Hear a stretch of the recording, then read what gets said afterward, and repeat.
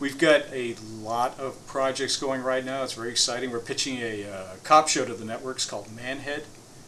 And uh, I've got uh, a horror movie I'm working on called Agrilla, about a, a, a half man, half farmer.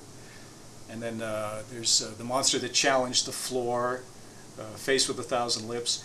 And I've got a thriller that we're developing called The Boston Chair, which is about a, a chair that people can only sit on if they're in Boston.